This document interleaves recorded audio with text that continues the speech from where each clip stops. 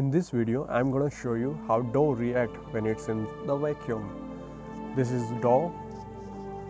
It's called atta in Hindi and I have put it inside the vacuum and as you can see, it's growing.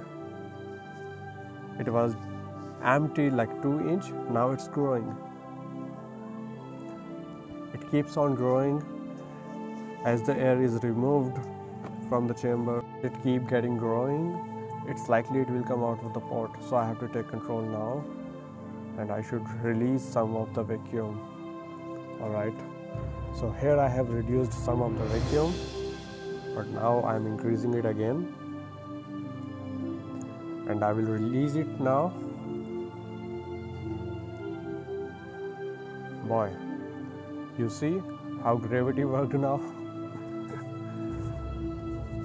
That was wonderful